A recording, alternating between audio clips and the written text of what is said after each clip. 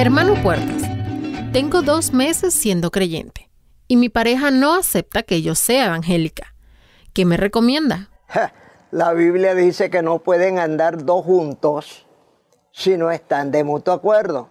Si él no quiere nada con Dios, es bueno que ayune siete días para que el Señor le saque el diablo de la cabeza.